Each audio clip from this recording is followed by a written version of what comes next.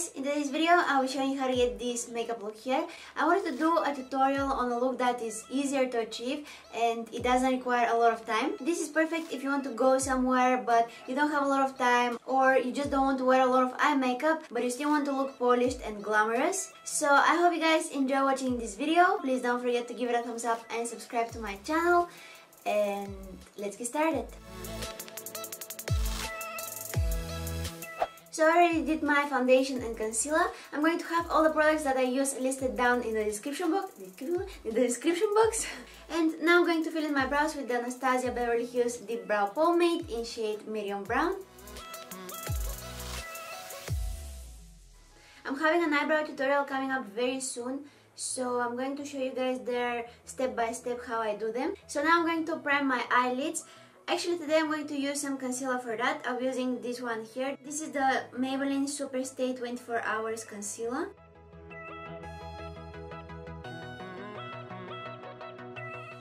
And then very quickly I'm setting it with a matte nude eyeshadow.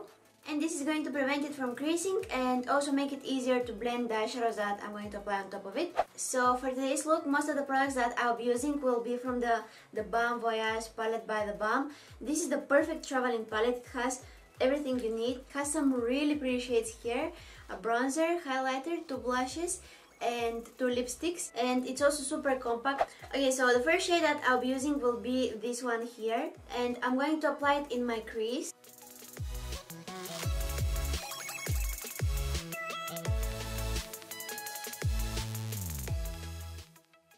and I'm slightly bringing it in the upper crease area. Try to keep it away from the lid area, but also don't take it all the way up to the brow bone, just something in between them.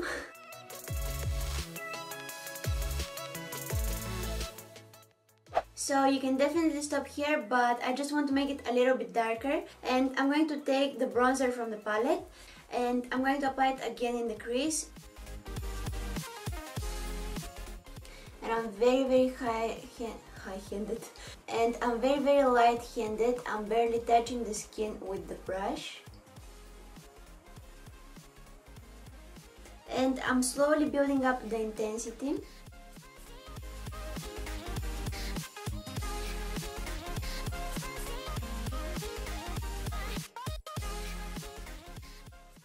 So you can see how it looks a little bit darker than before I like it this way better. Next on a flat brush, I'm going to take this white matte eyeshadow from the palette and I'm going to apply it all over my eyelid.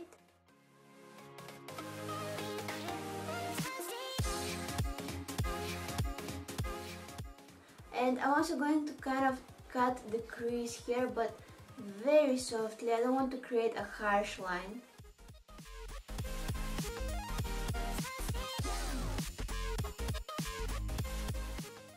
And I'm taking the same brush that I used to apply the bronzer and I'm going to blend it here so it's nice and soft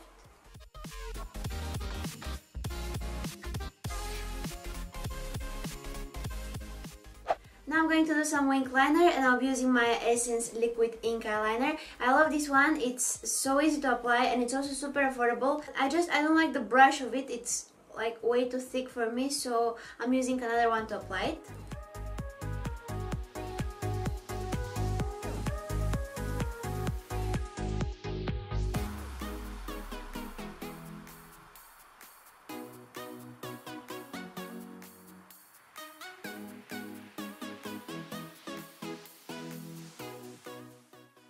Okay, so now that I have my eyeliner done, I'm going to take again this shade here and I'm going to apply it underneath my lower lash line and I'm going to keep it just in the outer half.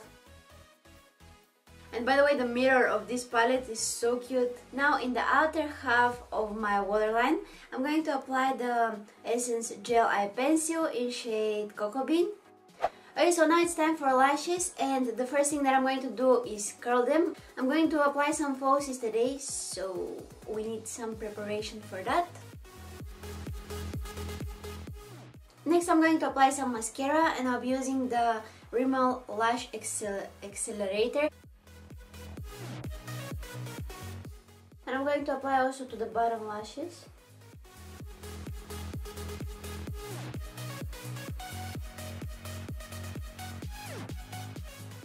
I just applied some glue on my lashes and now I'm going to wait it to get tacky.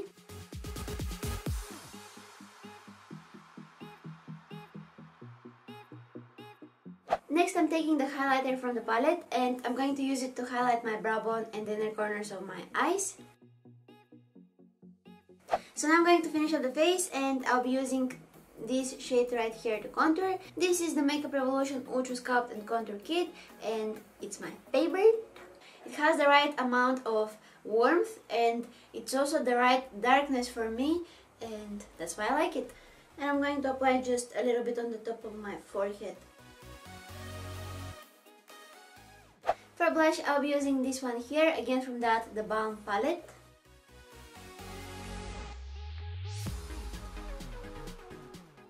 And for highlighter, I'll be using the same that I use on my brow bone and in the inner corners of my eyes.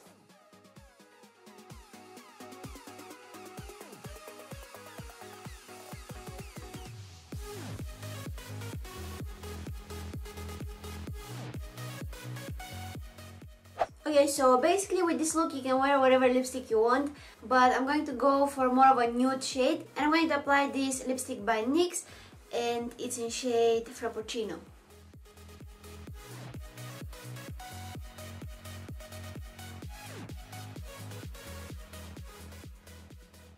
I like how hydrating this lipstick is. So yeah, this is the finished look guys.